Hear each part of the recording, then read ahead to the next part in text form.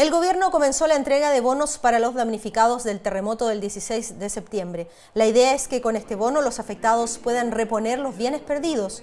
Quienes sufrieron daños en sus viviendas por causa del tsunami van a recibir un millón de pesos y aquellos que perdieron sus enseres debido al terremoto recibirán 500 mil pesos y las familias que acojan a personas damnificadas van a recibir un bono de 200 mil pesos.